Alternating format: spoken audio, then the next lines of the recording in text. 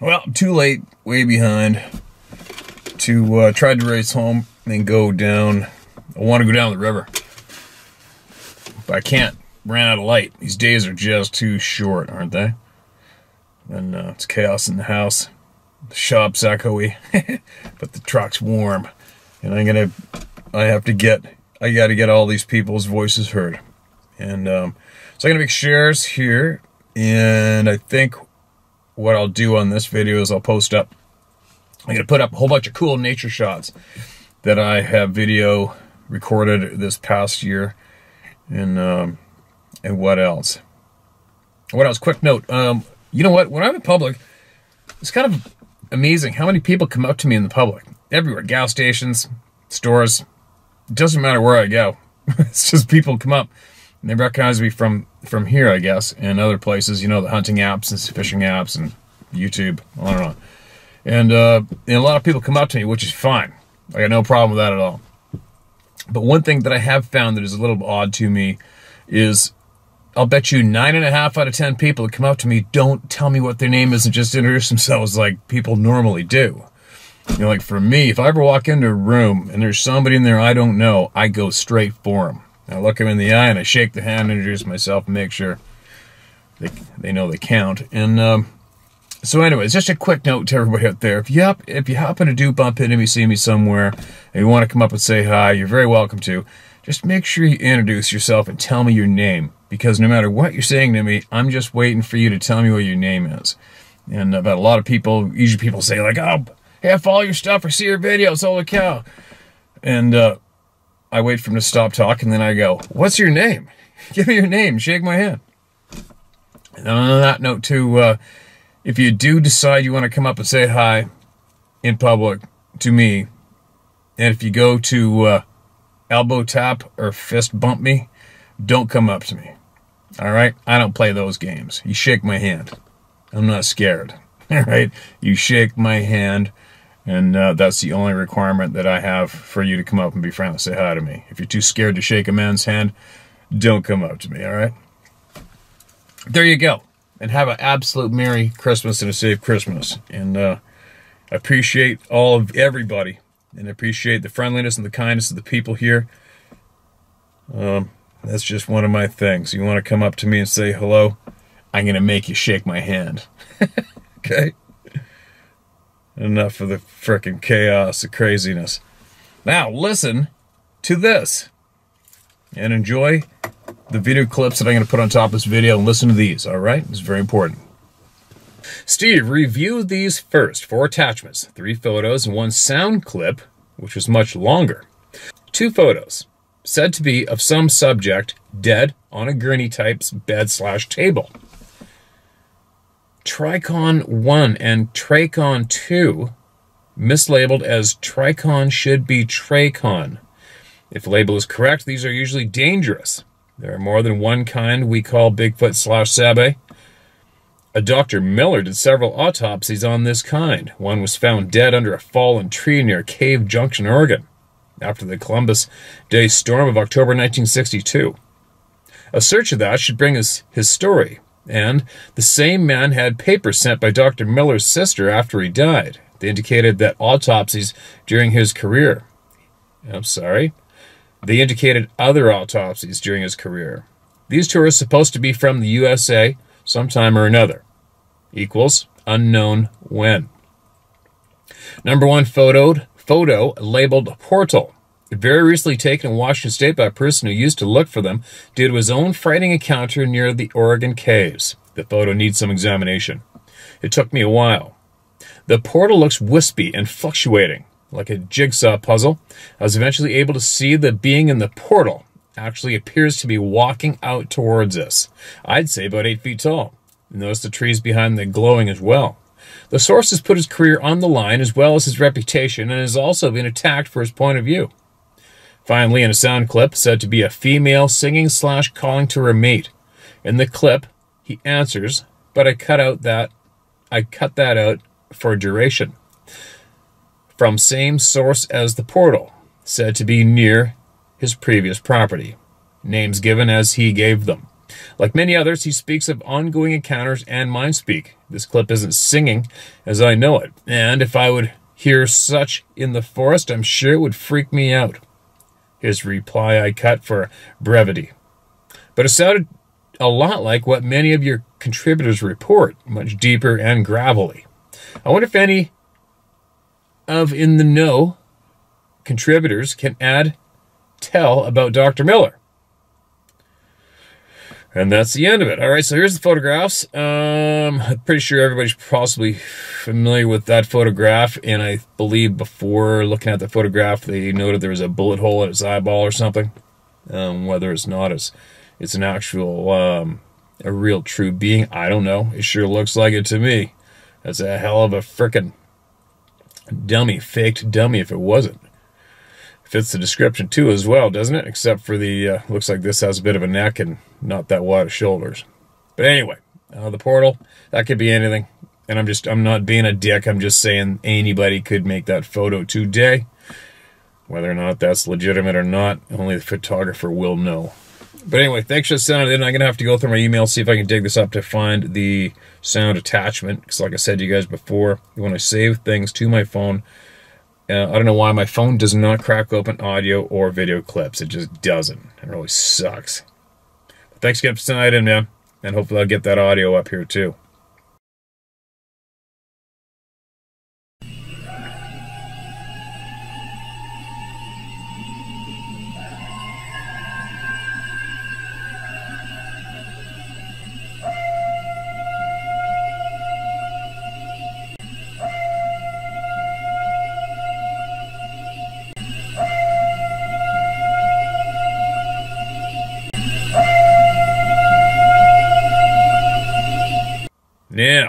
What's this one? Mark this as red. This is titled, I am Dirk, the son of Daryl Archuleta. All right. Born and raised in Oroville, California. I'm, I'm Konkau Madu on my dad's side and Easton Madu on my mom's. I hope I'm pronouncing that right. M-A-I-D-U, Madu on my mom's. When I was a teenager, I would ride the short bus over to Chico Fairgrounds to the Indians to the Indian school called Four Winds. And every morning we would have our own prayer circle where we would play drums, talk, and sing songs. And we were told that if we were ever out in the woods and found ourselves dangling off of a cliff or in the same or in some other type of peril, that all we'd have to do is sing this song and Sach Moa would come and rescue us. It goes Yahi Heye, Yahi Heye, Yahi Heye, Ho hum, Yahi Heye, Yahi Heye, Yah, Hey, Yah Hey, Ho hum. I only used it one time, but it ruined three lives afterwards. I can't undo what happened, and I just shed a tear thinking about it. But I'll get back to that in a moment, because I have to tell you what happened before that.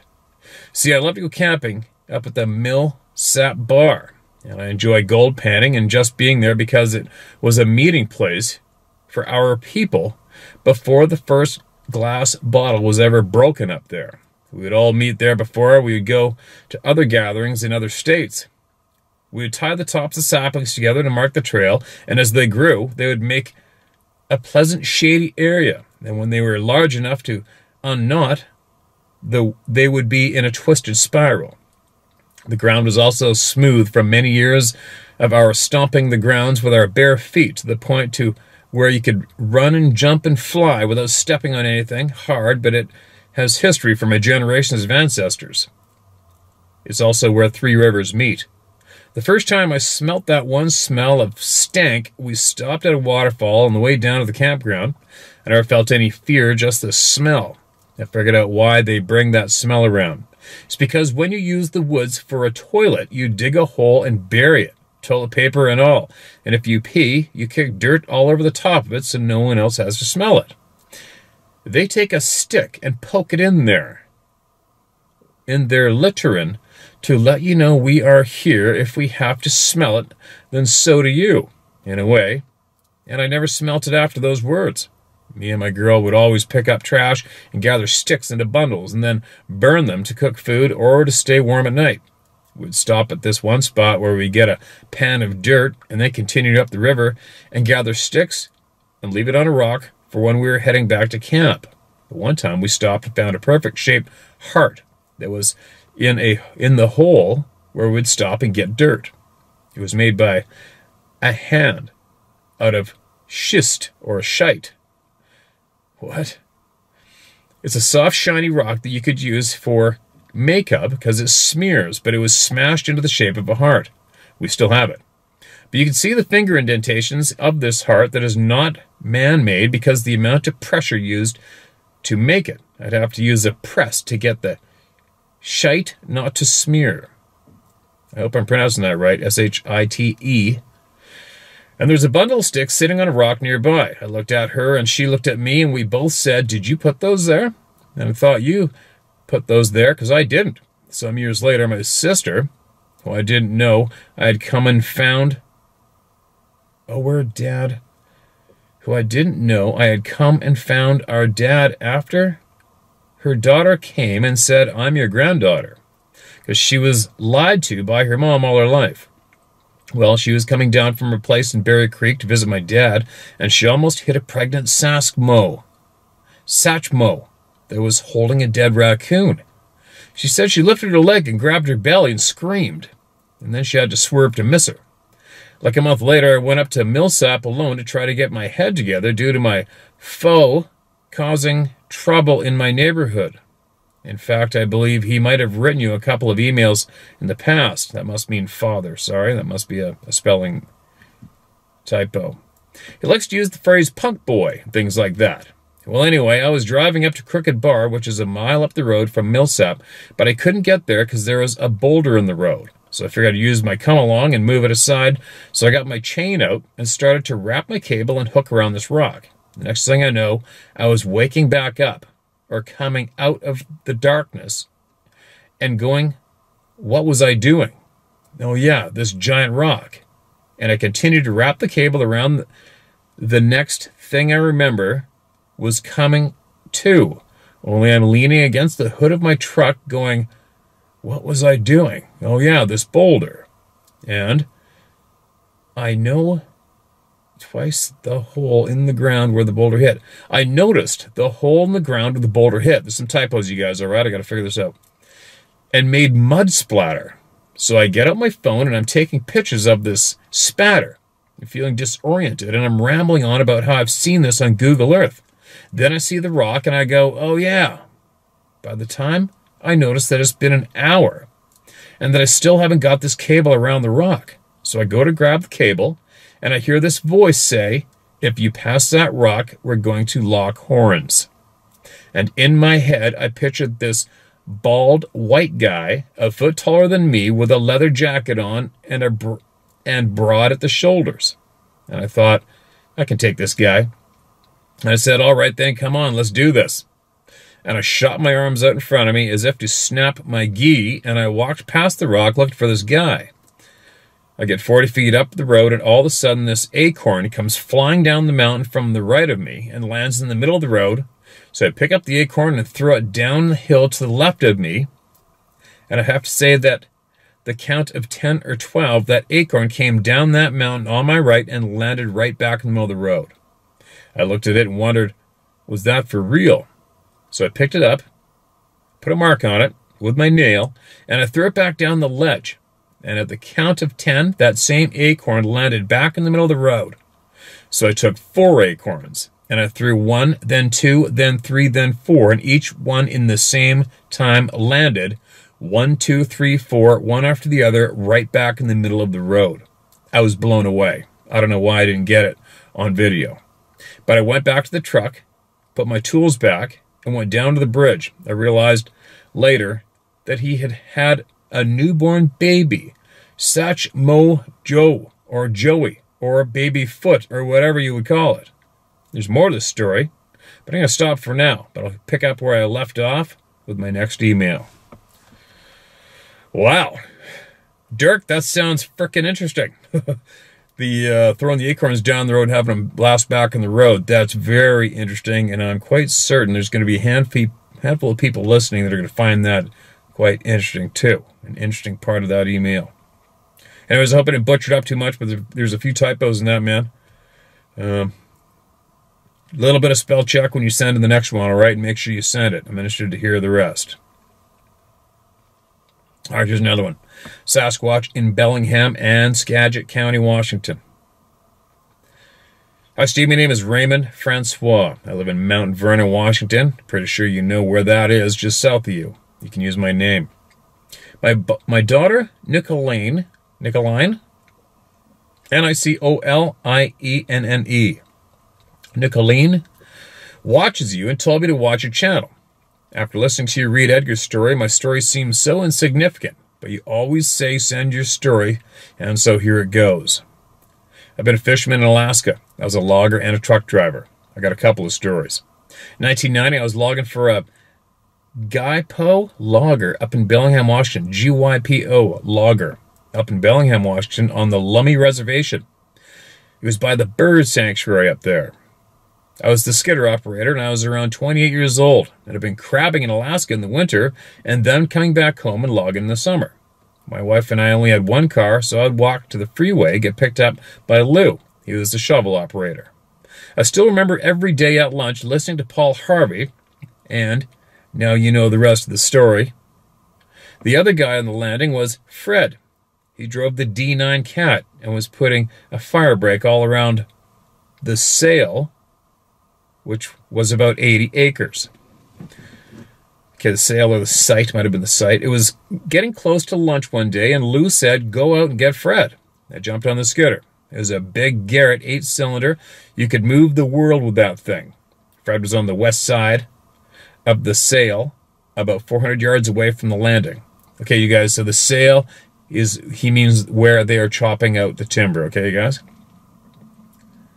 400 yards away from the landing. I got out to where he was, both machines down, we sat and talked for a few minutes. As we were talking, we heard something rustling about 20 feet in from the tree line. We were right at the tree line. Whatever it was started walking and grabbing and shaking the small pecker pole alders and firs about four to eight inches around. They were about 40 feet high, and you could see the tops of them shaking as it was walking past them. Fred was an avid hunter, and I knew it wasn't an elk, a deer, or a bear right away. He always carried a 45 with him. I saw in his eyes it was time to go. We started up the cat and the skidder and started back to the landing. He was in the back of me, chugging along, and I can see the trees moving forcefully with us until we got about a 100 feet away from the landing. Then they stopped. We mentioned it to Lou, who shrugged it off and rolled his eyes at us. The next morning, Lou and I arrived at the landing before anyone else. We opened the gate that had a lock on it and drove on up the logging road about a quarter of a mile. We got stopped right on the road. There were four nine foot long, four foot wide circle culverts in the roadway. The flatbed truck had delivered a couple days earlier that we had to put under the road for the streams. They were very heavy. However, now, there was one sitting in the middle of the road, alarming to say the least. We hooked it up with a chain and pulled it off the road and it was never mentioned again. As the skidder operator, I was going all the way back to the sale to bring in the logs. The tree fellers had already went through and cut 99% of everything down, so I was making my roads and grabbing all the logs and bringing them back.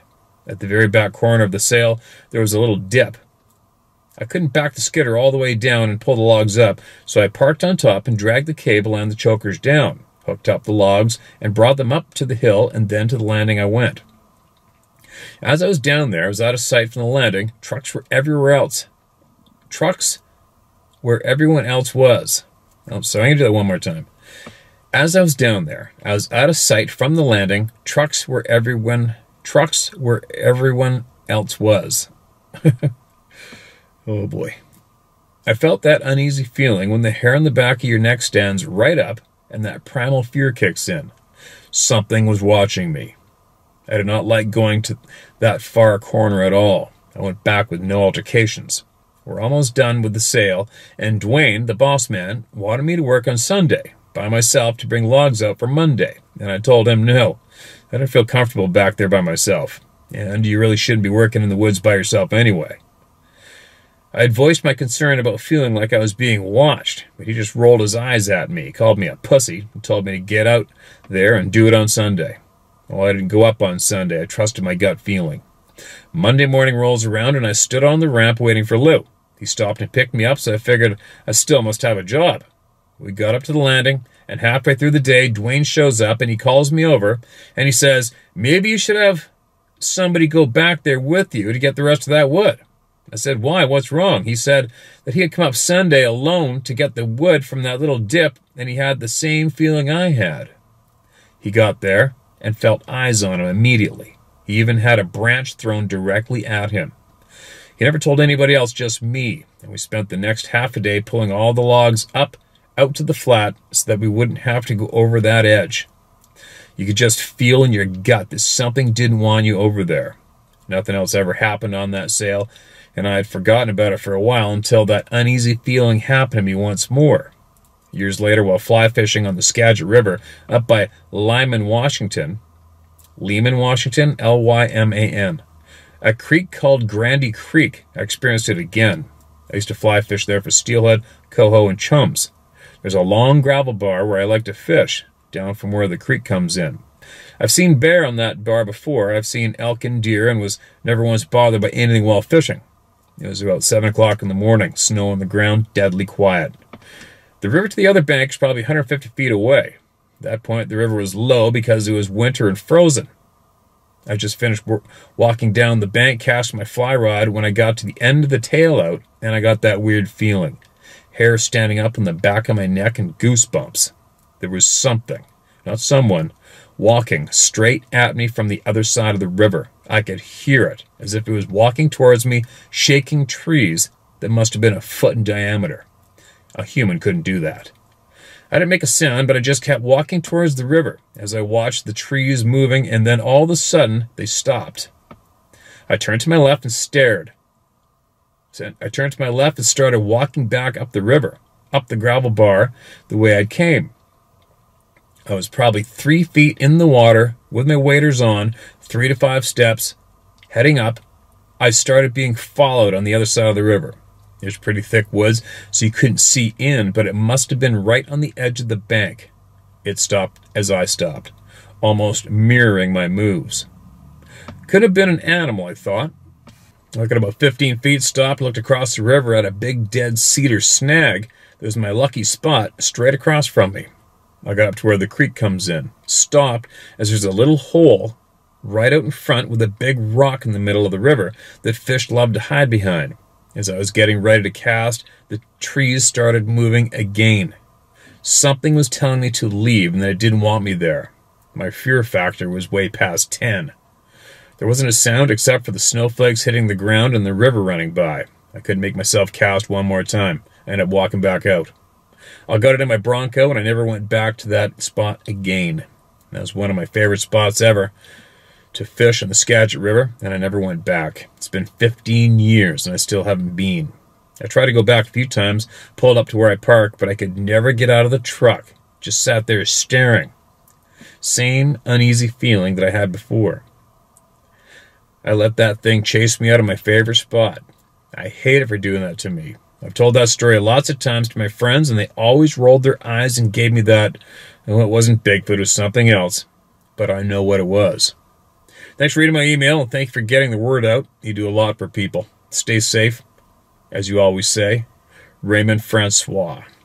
Raymond, absolutely appreciate your time that you took out to email everyone here through me. All right? And that does suck. You know what? I haven't had a. Uh, I got a I mean, I, I, I go to a lot of places where there's a lot of experiences from these things, and um, and I and also I go to places where I've had them.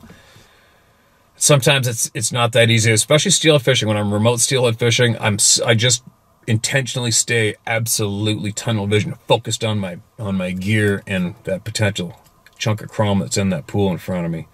And then uh, I just look, I just stare straight down at the trail, at the ground when I hike in, hike out, and uh, do my business and leave.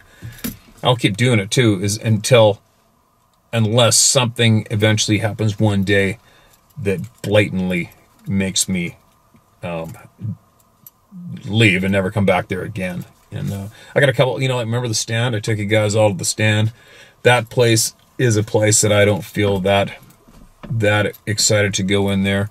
Obviously, when I had those two things beating on trees above me when I was trapping wolves in there years ago, that was very, very intimidating and very, very un- unnerving. And I got my hairs on my arms are standing up right now as I'm remembering that. And that was only about two, three hundred yards away from where I had that stand built.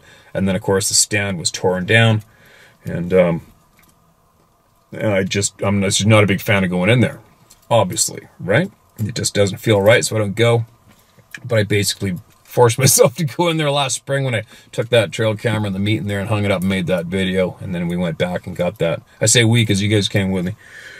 And went and got the uh, the trail camera after that. But yeah, it's a tough thing, man. A lot of people don't understand that. And a lot of people do not understand that feeling that we get, many of us get when we go to places hunting or fishing or camping, hiking.